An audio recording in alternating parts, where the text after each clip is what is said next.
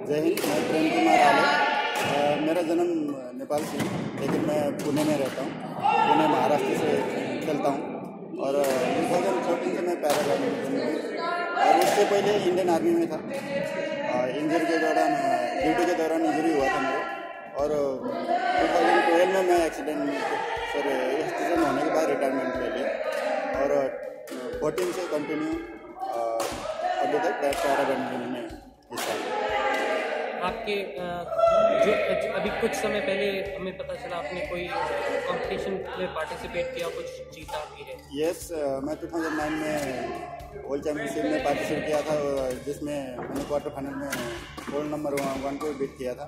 और ब्राज़ील में gold medal था और सॉरी ब्राज़ील में सिल्वर मेडल था। और